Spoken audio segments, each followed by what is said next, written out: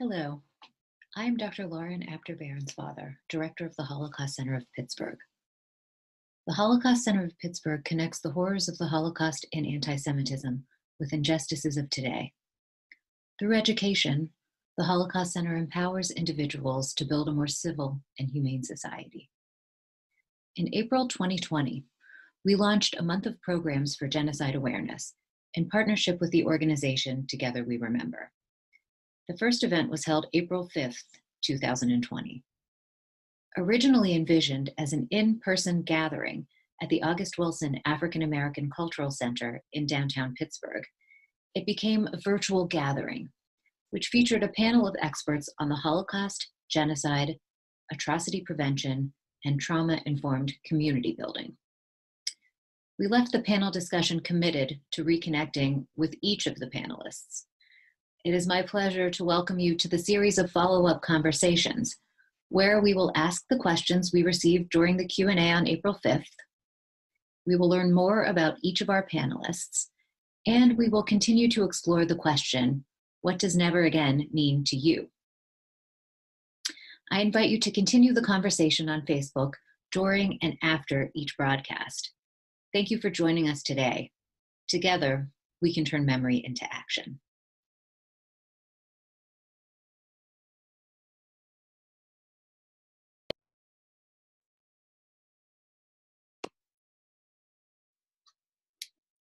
Good afternoon, everybody. Hello, thank you for joining us. Um, we are here with Susan Bro. Susan Bro is the mother of Heather Heyer and co-founder of the Heather Heyer Foundation. As the president and board chair, she works alongside co-founder and executive director Alfred Wilson. Prior to the arrival of COVID-19, Susan traveled around the country, speaking on behalf of the Heather Heyer Foundation, sharing Heather's legacy of nonviolent activism and social justice. Susan believes she can continue to bring about positive social change through the education and training of the next generation of activists, advocates, and allies.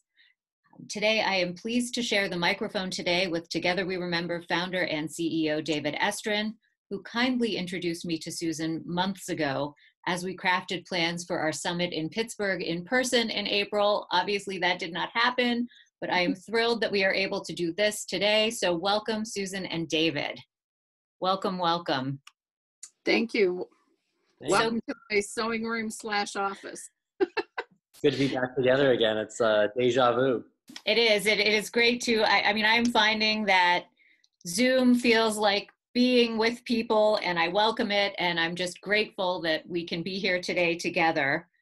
Um, I wanted to start off. So we did an event on April 5th, and we got a lot of very good questions um, that unfortunately we did not have time to take uh, during that program. So um, one of them, Susan, I want to invite you to reflect on this question, which is um, from one of the participants on April 5th, who wrote, I've never understood bigotry in any form. It makes me physically ill. How and why did this us versus them mentality originate? Now, it asks about the origins of that, which could go back thousands and thousands of years. But if you could reflect on that question of us versus them mentality, what it does to us.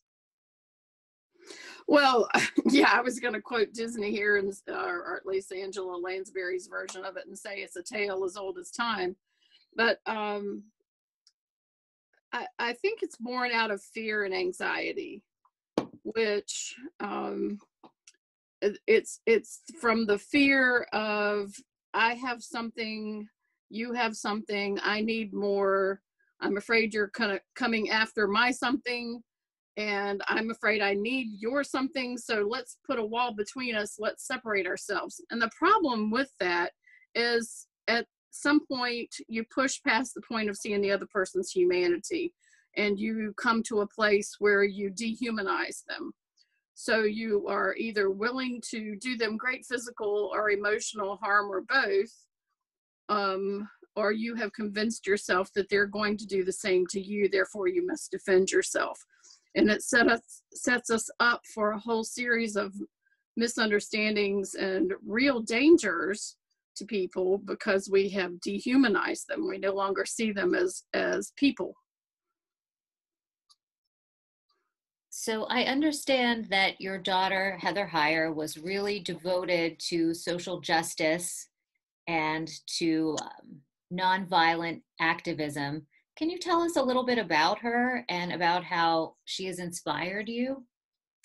Um, Heather was not known in the community as an activist. That's one misunderstanding people have. Um, her form of activism was in one-on-one work or in um, battling uh, prejudice and misunderstanding on social media. And she would engage people in conversation to try to change their mind or change their heart. And she would do it through presenting facts. Uh, facts about how people were treated, sharing news links, uh, sharing statistics, uh, she taught me a lot about going with that rather than trying to go with a gut reaction. In fact, I now have a policy if I get a strong gut reaction, I need to go check it out. And I'm trying to get other people in the habit of doing that. If you feel a strong emotional reaction to a story, go see if it's true. It might be, but it might not be. Uh, just go find out. It won't take but a few seconds to find out, and then you'll know how to respond. But we, um, have to be willing to hear one another. Um, even on the day she was killed, Heather um, went up to one of the neo-Nazi girls as they were packing up their cars to leave, and she was trying to have a conversation with her. Well, tell me, why are you here? Why do you feel the way you feel? Can you talk to me about your beliefs? And she would do it in sort of a cajoling way. I've seen her do it with family members. She's done it with me. Um, and she would he- listen to what you had to say and agree with what was true but refute what was not true with facts and for me that's been a tremendous approach um, i try to encourage people to to adopt the same method because people are more willing to accept the possibility that us and them are actually one and the same mm-hmm on some level if you take the time to acknowledge uh, one another's value.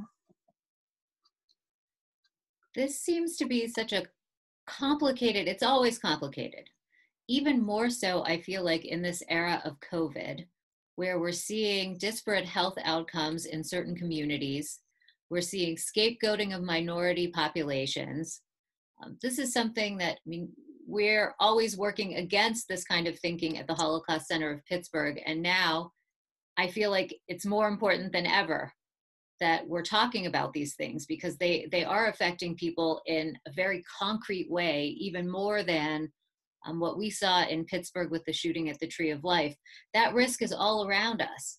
What happened in Charlottesville with the Unite the Right rally, that risk is all around us. So um, that's where I'm, please please. Yeah, I was just going to say, I think most of us um, who are white tend not to see it because it doesn't affect our daily lives so much.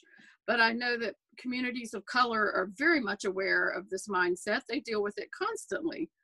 And in our place of privilege, with our heads buried in the sand, so often we don't see it. Now, being Jewish, you will have more of that. Uh, Arab Americans also have more of that. Um,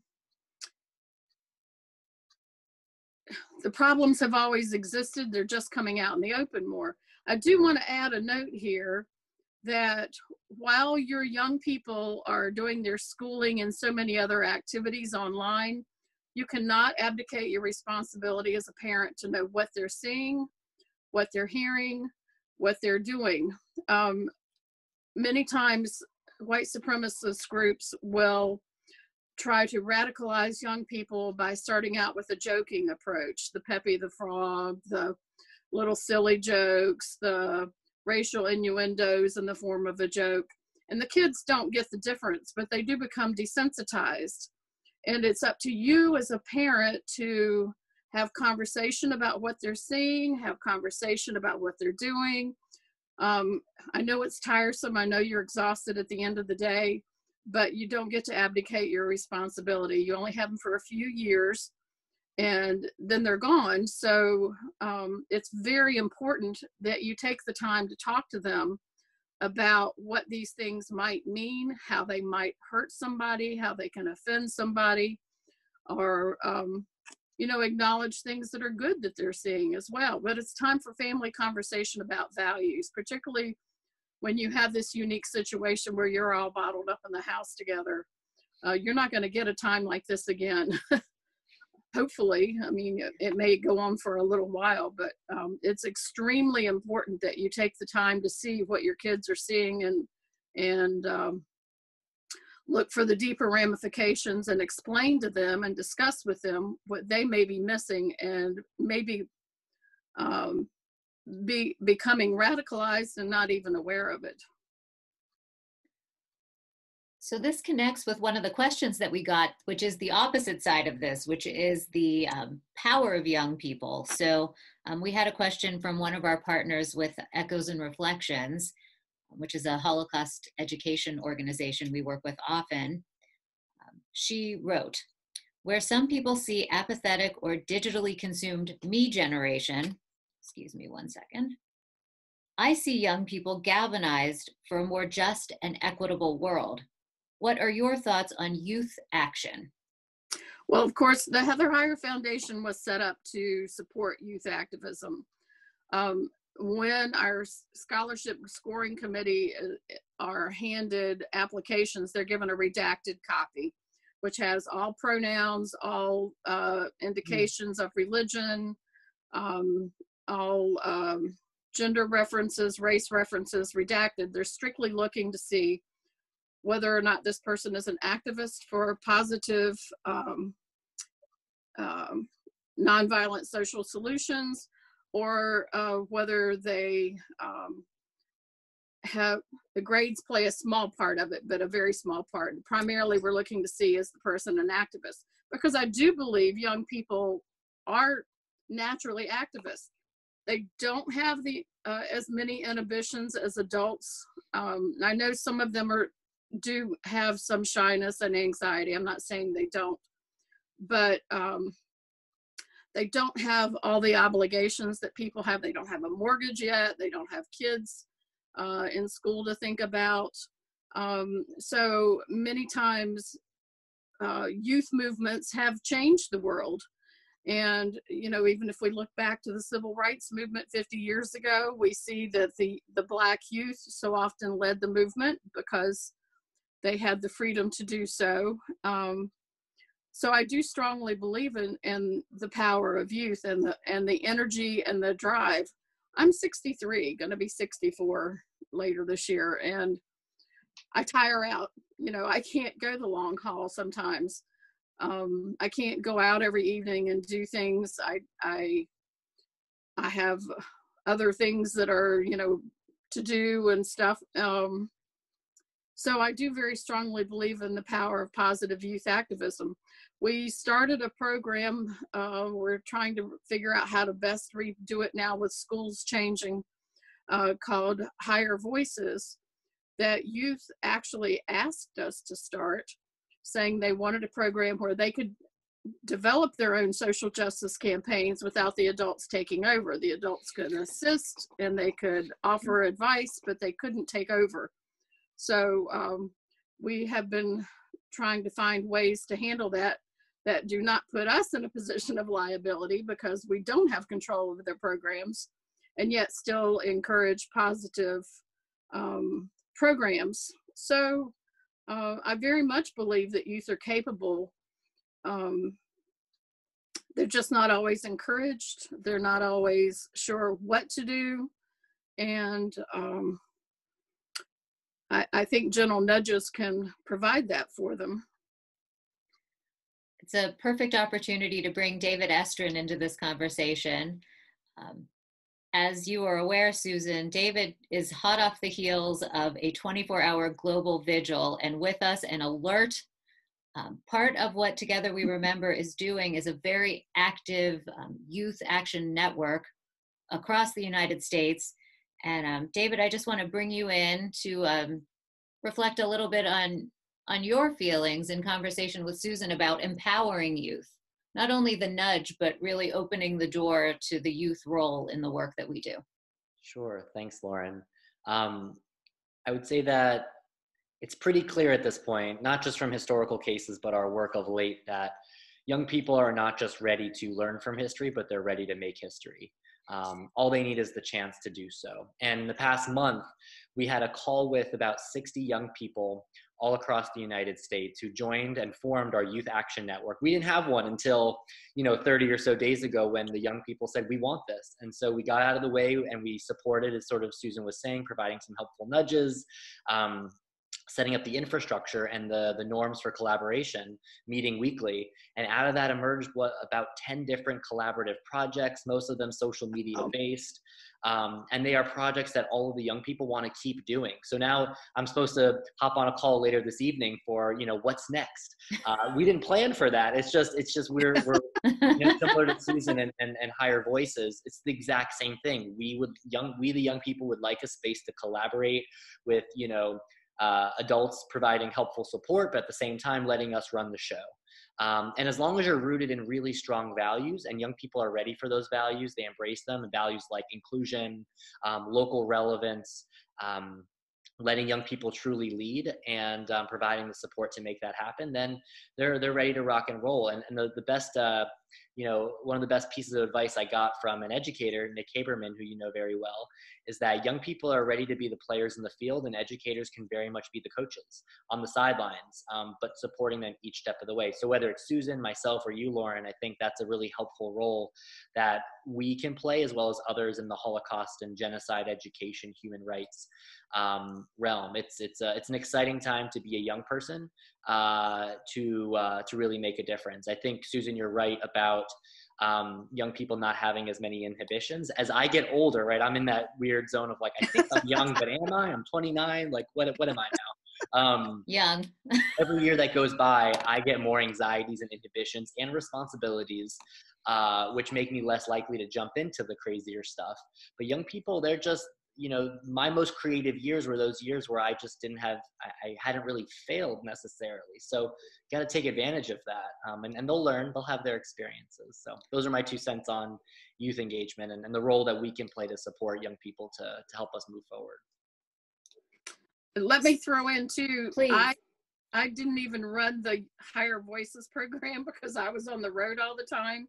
Um, uh, jameel wilson who was our intern over the summer, and Elliot Cisneros of the Sum actually put the program together. And then Elliot ran the program for the fall because I was on the road constantly. So I don't want to give a false impression that I did anything except show up for the first meeting and the last meeting, and that's all I got to do. Well, that's also part of the story is sharing the work. You know, and Yeah. sometimes sometimes it just takes the person to set the stage and then back off a little bit and let the magic happen, which is a lot of what we have seen over the last month of programming. That there, I mean, there are so many people around the world that can communicate now, even in this very strange time. We have an opportunity to be even more connected. And this is one of the questions that came in on April 5th was a question about um, not only the dangers of this moment during a pandemic, but the opportunities. So I wonder, Susan, if you can reflect a little bit on that. Well, one of the biggest dangers is this kind of pandemic um, economic crisis feeds people's anxieties, honestly. Um, this is a classic case of uh, like the legend about the Indian young man and his grandfather, where he says um, that whichever wolf you feed is the one that will grow. So we can feed our anxieties or we can feed our um, confidence in one another, our reaching out to one another for help. So as more people are using Zoom and other forms of contact, I mean, I actually got to spend FaceTime with grandchildren. And my parents and I have had long conversations that we have not been able to have for a long time. We might get a half an hour on a Sunday, and that would be all we've had. And instead, now I have the opportunity to connect more closely with family and friends. And I have the opportunity to um, do some research, some reflecting, uh, cleaning, clearing out, which is also good for the soul. And um, you know, you, you can make positives or negatives out of this. It's all in which way you choose to go with it. Um, so um, I'm trying to make choices to make this a positive. But I will tell you, there are times the anxiety overwhelms me, or when I'm unpacking Heather's things, which you see a lot of behind me on the shelf here. Uh, I've sat and sobbed for a half an hour or so, and then I'm like, okay, this is just part of the cycle of life. Move on with yourself, and um, you just have to be careful not to give into your anxieties, give into your fears, give into um, the terror of the moment. Um, we'll get through this somehow. We'll get through this together. We can get through this stronger, but we can't give up on our connections. We have to strengthen them. One thing that is really striking to me, Susan, about you and, and what you have done over the last few years and connected to what has happened in Pittsburgh um, since the attack on the Tree of Life building um, is your resilience, your incredible resilience that um, you came through that experience and you came back so motivated and such a powerful voice for justice. How? How do you find that strength? Where does that come from? Um, well, a couple of things. I'm I'm from a very long line of strong people. Um, I, I think Appalachian mountain people have had to be strong to survive a lot, but um, my initial goal in speaking at all was just to make sure the truth was told about Heather because the um, white supremacists were spreading so many lies and um, faking so much film footage and stuff. So my initial goal was to tell the truth, but also to fill in the gap where I saw an opportunity. I was handed a platform that I didn't ask for, didn't really deserve and I thought, okay, what's the responsible thing to do here? Um, so I have been using that platform to point out inequities, using that platform to speak up for justice, but also to uh, largely what I talk about when I talk is to explain to people how they should step up, why they should step up. And I tell them, here's why Heather was important and here's why she was not important. And um, trying to stick to the truth but um, the the the fact is death is a part of living on this earth pain is a cost of love and um, we don't get to pick who dies or when they die or how they die. Everyone around us is going to die unless we die first. And that's just part of the cycle of life. I don't know what happens after death. I don't need to know right now. I just know that it happens. And um, it does cause pain for those who are left behind. But like as i said that's the cost of loving someone is that you risk that that pain so um, my philosophy is suck it up buttercup and move ahead. And if you need to cry cry for a minute cry for half an hour cry for a day. But know that you don't have to stay in that place of grieving. You can get up and pick yourself up and move on. I have found for me and for many others that when you do something um, in the memory of or in the honor of the memory of the one that you have lost, it does help to ease the pain. It helps to take your mind off yourself and put your mind on others and how can I be of service. Um, I strongly believe in a life of service, of serving others, of taking care of others and um, that's a family value that goes back many generations in my family. We don't always get it right. Please don't misunderstand me. And heather was not a saint. I'm not a saint. Um, by any means don't even pretend that um, but but we do have obligations as human beings and and life involves some of the things i've been through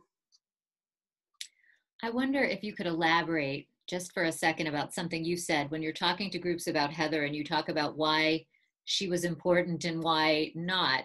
What what does that mean? Can you elaborate? Well, Heather um, Heather's death brought focus to an event that really was ripping off a bandage on our society uh, where many of us like to believe that um, everybody believed and thought a certain way and yet we knew there were haters there. We knew they sort of lurked in the background. We knew that they were on the rise but a lot of us pretended that we were not affected by that. Um, and honestly a lot of people were unaffected by charlottesville. There's still many people out there who either never knew about it or have forgotten about it. Um, but Charlottesville was a ripping off of a bandage of uh, a genteel society that didn't really have any problems. It's a liberal white town uh, that actually has a rather significant black population, but as many uh, towns, and I won't just say southern towns because I've seen it in Cleveland and a lot of other places where there are um, significant black populations that are largely unacknowledged, largely um, ignored. Um, simply watching the TV can tell you a lot. Look how many black people are on the channels. Look how many black people are on the news. Look how many black people show up on the television. Um, and um, so, in that way, Heather's death was significant. It was a call to action for many. I heard from millions around the world um, who said that when she died, it was a moment for them of realization that we must all step up. But what I say about Heather not being important is Heather was a normal person doing a normal thing, agreeing to walk with her friends just to show solidarity. And that's really all she did that day was going to walk. She was dressed to go to her afternoon bartending job. Her bartending apron was in the car. She had her hair pulled back in the braid. She had on her black uh, t-shirt and and uh, slacks that she would wear to work in the bar. And she really fully intended to go on about her life after the walk. She didn't go there planning to be a martyr. She went there knowing that she could be, but didn't really think she was going to be, particularly at the point where everybody had left and they were going up onto the mall to celebrate that this was over and that the Nazis had been kicked out. And um, so, in that way, she's not important because what she did was doable by anybody. All anybody has to do is stand up, stand up to be counted. You don't have to um, do a grand gesture. You don't have to lead a large movement. You don't have to be well known. You don't have to be famous. You don't have to have a large Twitter following. You just got to stand up and do the right thing. You're not responsible for the consequences of how that goes. You're just responsible to show up and step up. So you were a teacher and we work with many, many teachers. I know that you taught elementary aged students um, we work more with sixth grade and up, but we're always hearing from people who are who want us to work with younger and younger ages. But um, well, what you were just saying about the power of an individual, um, the ability to do something without it being something heroic, um, what would you tell young people? Really young people, not like the teenagers that we worked with it together, we remember, but like the seven and eight year olds. I, I think one of the simplest rules that you can explain to kids is the golden rule do unto others as you would have others do unto you. Um, and you don't have to put it in that language. That's just the way I learned it. Um, but that really can shape um, a child's perception. If you teach them from an early age to treat others the way they would like to be treated, and you yourself model that that's the key because you can tell them one thing but if you're not doing it yourself they're going to do what you do it's it's definitely do what i do not what i say no matter how we wish as parents it would happen kids are going to do what we do so if they see that you're treating people respectfully if they see that you recognize the humanity of other people if they see that you call out um, injustice and, and inequity, they're going to do it too. Um, it's not to say that's the only thing that's going to happen because sometimes when we do all those things, kids will rebel. But um, you do your best as a parent to try. Also, sometimes kids see you being so horrible that they will do the opposite and become a just person. um, kids are humans and they will make choices but as a parent if you can teach the golden rule and live it yourself that's that's a big big start and that needs to be a discussion woven in as you read stories woven in as you read books woven in as you're even looking at commercials as you're doing all kinds of things. It's it's easy to take a quick moment look for the teachable moment as they call it. My dad and my mom were the, truly masters of that. And um, throw in the odd remark that's meaningful and then move on. Don't you know don't beat the point to the ground. So i know that david and together we remember did some work with you in charlottesville and i'm going to invite david to sort of ask you a couple questions about that sure Thank you, Lauren. Mm.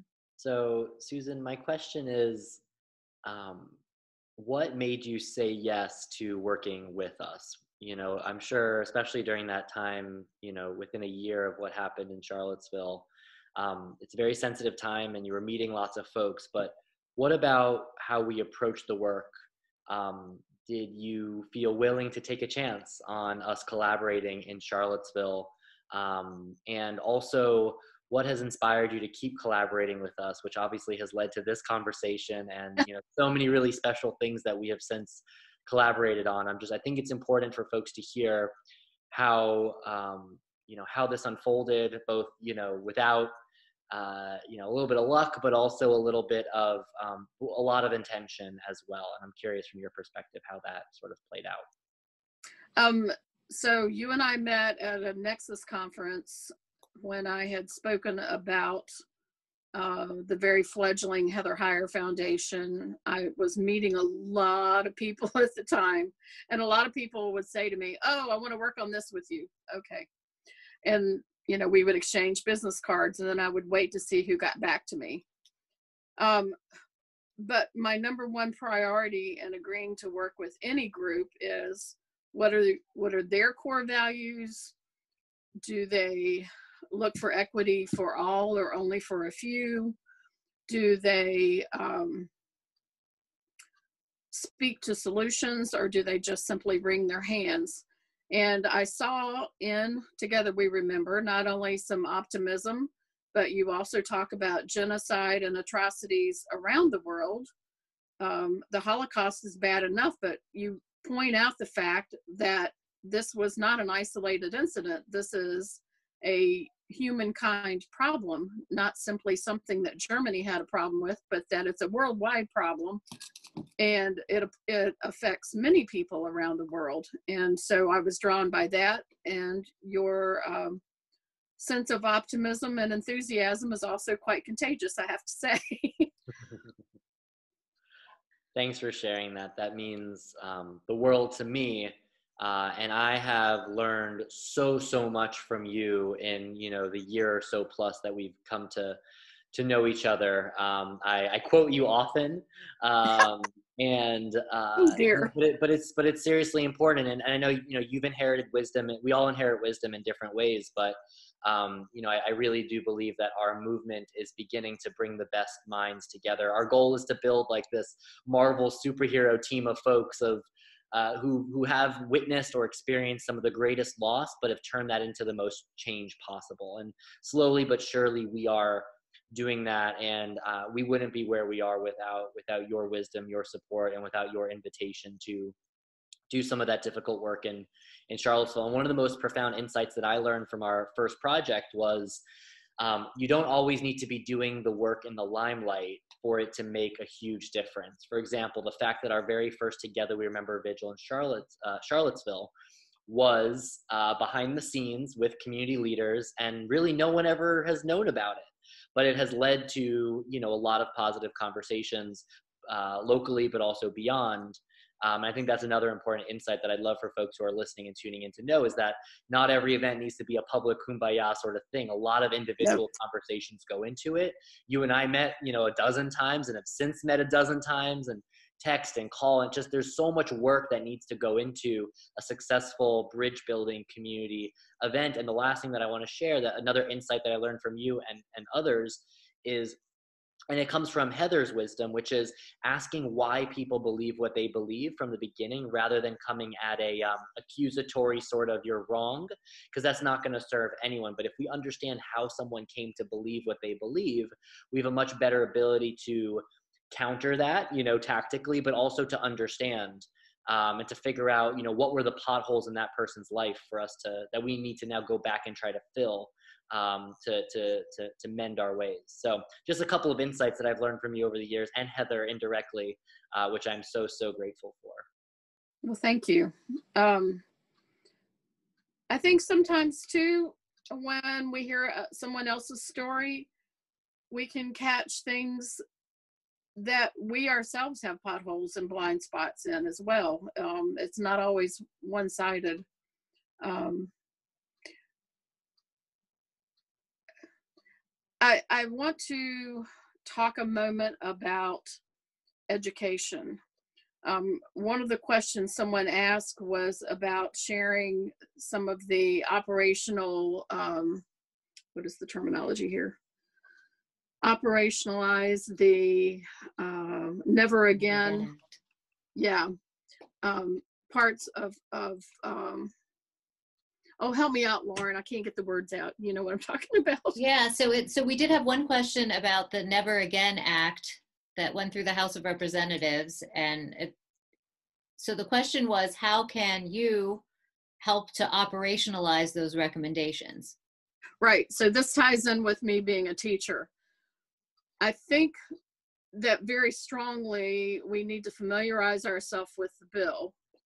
We need to be in touch with our state senators and um, representatives. We need to reach out to our local school boards and offer to help.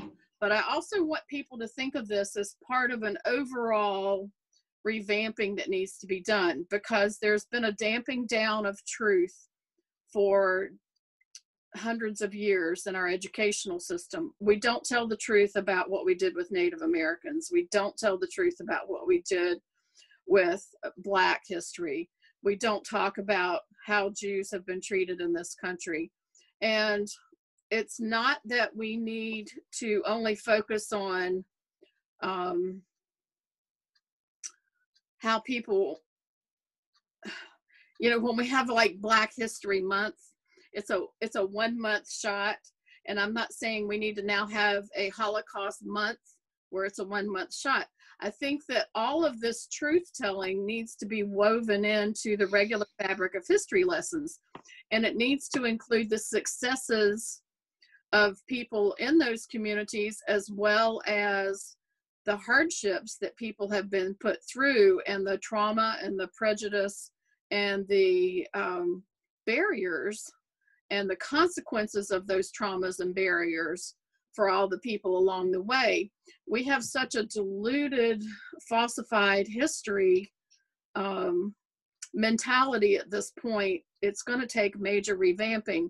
Unfortunately, a lot of our educational policies are formed by lobbies reaching out to um, departments and reaching out to um, education boards. And so a lot of what teachers get stuck teaching is minutia for the test taking. And it's not an overall picture. It's not a clear um, understanding. If we could try to try to find a balance between the test taking that's needed to demonstrate we're doing good teaching and developing the critical thinking and the um, clear understanding of why things happen. I think that that's a major challenge. Now, I walked away from teaching in 2010 because I was quite sick. Um, I'm I'm not good at doing um, uh, moderated approaches to anything. I pour myself into something so intensely that I kill myself in the process and then have to back off. And I had done that with teaching um, to the point where I was didn't feel I was doing an effective job anymore. So it was best for me to leave the profession. I understand teachers have a very difficult time, and teachers are not to blame. The if there's blame to be had, it's on higher decision makers succumbing to lobbyists. Somehow we have to find a way to get to um, truth telling in history and putting it in perspective, age appropriate, of course. Um, we don't need nine year olds necessarily hearing about lynching, but there are, are ways to explain history. There are appropriate methods. I know that this can be done. Um, in the interim, I made a handy dandy high tech sign that shows how people can find some good information. And you can also, for Black history, substitute Jewish history or Asian history, any kind. You know, there the internet provides us with endless resources. Go to the internet, look at several sources, get some information about books that you can read, um, obtain those books through any number of digital resources or whatever and read them together as families have those family value conversations have those meaningful talks about well how does that make you feel? How would you feel if you were them? Um, is this something we would want to do as a family? Is this the way we would want to be treated as a family? You know here's where you can have the conversations um, teachers don't really have the time to do that in the classroom as fully as they would like to. And this is your chance to insert your family values because that's not the job of the teacher. The teacher should not be um, responsible for transmitting your family values to your child.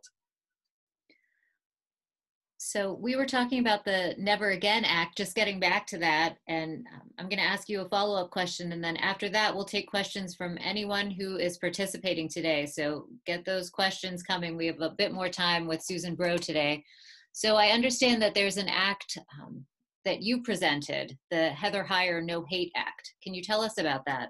Well, it's the Khalid Jabara Heather Heyer No Hate Act. And what happened was the Arab American Institute was doing some research and discovered that Khalid Jabara's highly publicized murder on August 12th, 2016, exactly one year before Heather was killed.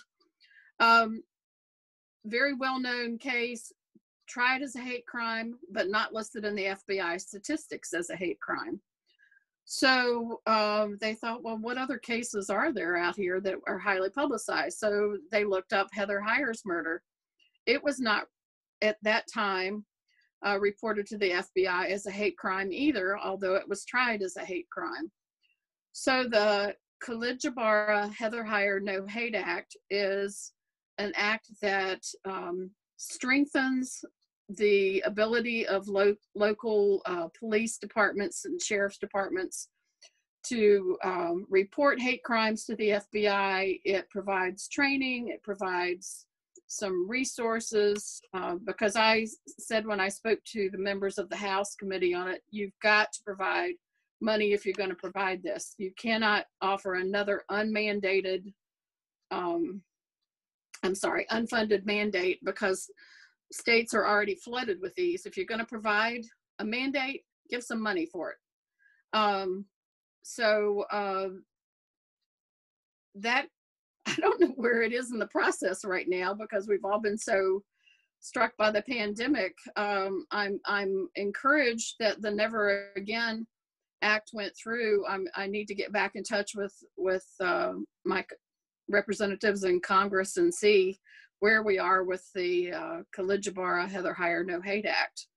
Um, it was a bicameral, uh, both houses, and uh, had nonpartisan support at one point. I don't know if that's still true or not.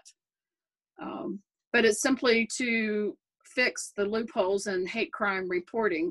I say that when you take your car to the mechanic or take your child to the doctor, either one, the first thing they do is they look at the symptoms. If you don't have an accurate representation of what's happening with hate crimes in this country, then you simply cannot prescribe uh, good medicine, good mechanics for them. You need to know what's going on, have specific information that you know is factual, and um, that's a first step in fixing the problems.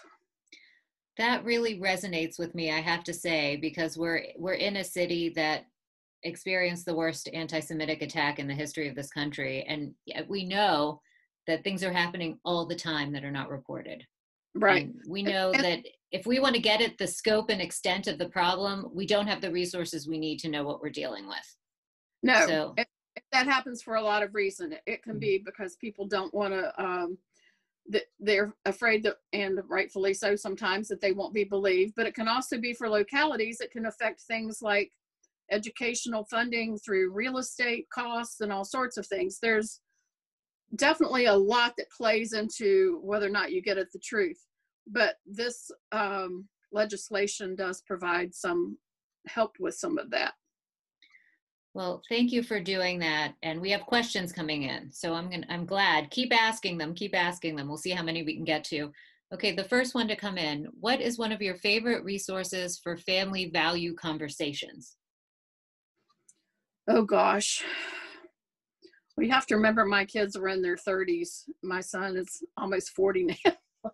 so, um, I mean, we would have looked at movies and talked about them. This was back in the day when you rent and you rented this big suitcase of a VCR and a stack of tapes and we would have movie weekend and there would be conversation around those movies. So that's obviously changed for families, but you you know, if you're streaming something, if you're, um, I don't, I don't know. It, it's, it's more of a mindset as a parent to look for the teachable moment. I know I had some of the most intense conversations with my children while I'm driving down the road and both hands are on the wheel and they would bring up something so intense and personal, it would take my breath away. And I thought, okay, don't react just answer. you know, because I'd be like, oh my God, I can't believe you're asking me that now. Um, but if you're mentally prepared for the teachable moment, you'll find it. Um, they come up at the strangest times. Just uh, spend time with your kid, have fun, have some quality fun time where they feel like they can come to you and talk to you about things. Okay, so the next one is unrelated, but a very good question. How is your foundation addressing misogyny and anti-LGBTQ bigotry? Um, we're not specifically. I will tell you that um, what we are dr- addressing as a foundation is supporting the education and empowerment. The foundation is working to um, provide scholarships for those kids who are activists. Many of them are activists in um, LGBTQ initiatives, but our focus is not on those issues specifically. Now, I will tell you, at a session of Higher Voices, the girls were all complaining. Uh, it was primarily girls who enrolled. I don't know why, if it's just because Heather was a girl, so they think we do girl things. Or we had one guy who enrolled, but the girls kept complaining how the boys at the Model UN had done this and the boys at the Model UN had done that. And I said, "All right, ladies, I became um, a um, feminist in first grade when they told me I couldn't climb trees and, and had to wear dresses to school all the time. And I stomped my foot and said, That's not fair. Uh, I think the issue was that it was snowing and we still had to wear dresses and boys got to wear pants, of course. Um, and I and so I talked to the women then about how you stand up for yourself. You don't have to always smile. Um, and we talk, you know, I will talk one on one, but as an organization, that's not our focus. I I do strongly believe in dealing with those one on one when they come up, but yeah, that's not been our focus. So we got another question that is really on point for some of the things we've talked about today. Um, it reads Hi, I am a Michigan resident, and I am seeing so many similarities between what is happening at our capital and what happened in Charlottesville. I'm wondering if Susan has any insight based on retrospect as to how we can circumvent a tragic outcome here in Michigan or perhaps even facilitate a positive and productive result. Part of what the problem, and actually, I just learned today from friends who were on the front lines in Charlottesville, as I never was, um, that part of the reason it looks so similar is that some of the same people. Um, the three percenters were here that day, as well as they're the lead protesters in Michigan. Um, and they're not even from Virginia or Michigan. I think the biggest problem that we had in Charlottesville was that authorities at state, national, and local level were led to believe that white supremacist movements were not dangerous. I hope that now people take that a little more seriously, but that's been a federal policy for many years, and only within the last year has that uh, focus been allowed to change. Um, so I'm hoping that we will not see the same tragic outcomes in Michigan because the State Department takes it a little more seriously. Um, that was not taken seriously. The local um, activists were telling everybody who would listen and even those who wouldn't listen that this was serious that that it was to be taken seriously that it was to be believed but because the federal authorities and the state authorities were saying it was not the local authorities made the choice to do what the state and federal authorities were telling them, which was nothing. Um, so hopefully Michigan is is going to take it more seriously because hopefully the feds and this and the uh, others are taking it more seriously.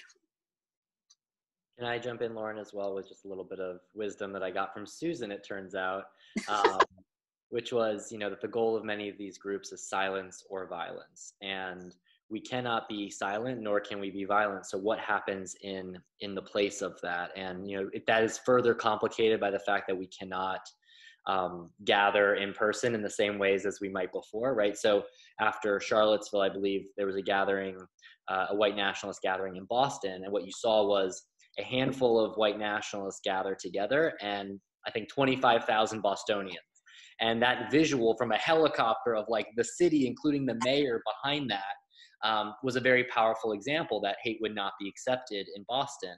Um, and you know the folks that were leading that rally, you know, first off, their turnout was a lot lower, and they did not win the story. So I think it's a big communications challenge. How do we win the story? How do we win the narrative, especially when the media, you know, right now you've got several hundred people that are driving a news cycle. Um, through their protests, but there's so many more of us who are have very different values. How do we communicate that? How do we do that virtually now? I don't have all the answers to that hardly. However, what we did during April, especially in our 24 hour global virtual vigil, I think should warrant far more coverage uh, than it than it typically gets. So we have to find ways to get the positive story to be communicated. That way, the oxygen is not going towards the more negative narratives that the white nationalists um, are fueled by um, because that's what they then retweet. They say look what we got you know who to tweet or who to say um, or look at our person you know when we document what they're doing with the nazi swastikas and the flags that's what that's their goal right? Um, so we have to come up with alternatives. And i think you know young people and, and some of us on this call we're smart enough to come up with those alternatives and we have to keep fighting um, on that front. We certainly have more power if we uh, if we team up more uh, intentionally and again, credit where credit is due. I got that from Christian Picciolini. Perfect. Love it. Nice. All right, well, we're going to run out of time in a minute, and there are a couple of things that I want us to accomplish before that happens. So, um, we are asking during these follow up conversations for you to reflect again on the idea of never again and, and what that means to you we have to come together as human beings. We have to find a way to get past the us versus them. We have to pull together. Uh, I don't think this pandemic crisis is over for some time yet. So we have to rethink how we connect with one another, how we support one another financially, fiscally, emotionally, resource wise. Um, this is actually a chance to make a better world for everyone. So let's think about how we want to do that in a way that will satisfy everyone. Uh, we're not going to get it perfect. We're not going to we're not going to create utopia by any means. We're not going to put our arms around each other and sing kumbaya, but can we find a way to exist side by side? That's the question. We have a great opportunity to do that now. There is no reason for us to go back to another genocide to solve this. It never solves anything. It doesn't, it, it does the opposite. So let's make a commitment. Let's develop a mindset that says never again as a country will we let ourselves be so divided as we are right now. And let's find a way to move past this. Is there anything else that you want to tell us that I didn't ask you? I have advice for people and I just did it. Um, always tell the truth. Always be accountable for your actions. And always think before you speak on matters of importance. And the bigger your platform, the bigger your responsibility to do those things because your words have consequences. Don't underestimate the value of your word. Your words have consequences, so don't throw them around carelessly, especially not in front of your children especially not then. I have one more question for you. Yes. And this came from our audience. Um, what do you want us to remember the most about Heather? That you simply need to step up and step out, put feet to your intentions. It's great to say, I want to make a difference. It's great to say, I don't know what I can do. But you know what? When the opportunity comes for you to stand up and do the right thing, don't say, oh, gee, I'm worried they might be offended. Oh, gee, I'm worried that I'm going to upset somebody's apple cart. Do the right thing.